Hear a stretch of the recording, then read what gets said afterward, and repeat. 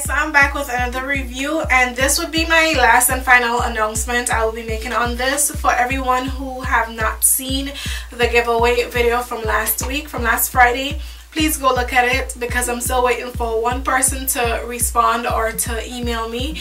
Actually i not email me but i emailed everyone else so if you left your email check your emails. If you didn't get an email from me then you're probably the one that i'm waiting for or you probably didn't leave your email as yet. So I'm still waiting for one person to respond. So like I said go watch the video if you haven't seen it yet. And that's if you took part in last week's giveaway. But anyway as you probably can tell by the title this would be a giveaway as well. This was actually a requested review and I love to give away the requested reviews the requested wigs. Whatever wig you request I like giving it away because I'm like if you're interested in it for me to review it then you're probably interested in purchasing it okay? Not necessarily the person who requested it is the person who's going to win because it's just a random poll but still other people may be interested in it so I'm gonna give this away. And I know not a lot of people are into like blonde and 613s and stuff like that but some people are so and that's the color that I got so I'm definitely going to give this away. So anyway this is my Motown Tress it's a Let's, Let's Lace deep part wig and she's called LDP Carly. I'm wearing her in the color OT Golden Blonde. It's a really pretty blonde. It's kind of like the one that I previously reviewed. That was a Kristen by Bobbi Boss.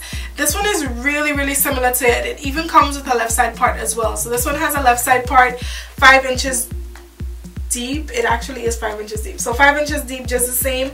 And all I had to do was add powder to it. Did not have to tweeze it or anything like that. It came with baby hairs but I decided not to use it just because I didn't feel like using it. Um, but you can definitely use baby hairs if you want to. I did use the flat iron and kind of like flatten down this side of it. Not why I keep pointing? This side of it. I flattened down this side just to keep it down because I hate like to see little bulks like this. I think it looks a little bit more unnatural. It already looks like a wig but I don't want it to be too wiggy you know? We try our best to make it look as natural as possible. So I flattened the part a little bit right here but that's basically all I did and then I just brushed it out. And I did get a few strands from it. It wasn't anything too excessive but I got a few strands. And this is what the stock card looks like right here. The length they said the finishing length is 15 inches it says.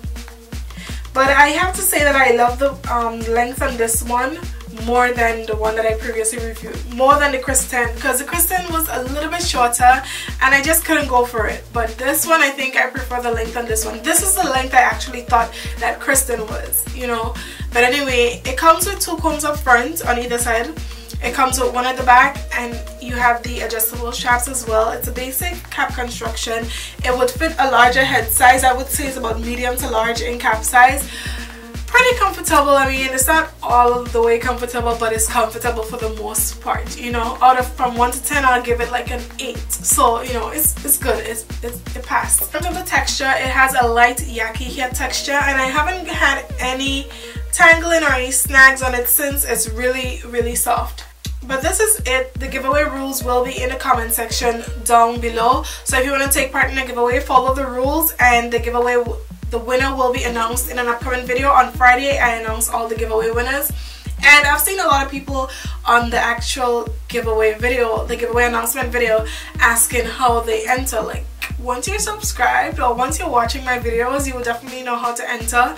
So yeah I normally just like don't answer these questions because to me it's hard to answer these questions because once you're watching all the videos or at least some of them you you know like okay how to enter. You don't just go on a giveaway announcement video and ask how do you enter? It's obviously obviously that you know the people entered before that video or so just go back you know just go back do your homework if you really want to win a wig and you'll know how to enter. But anyway thank you so so much for watching. Like subscribe follow us on all our social media accounts and I'll see you guys really soon. Bye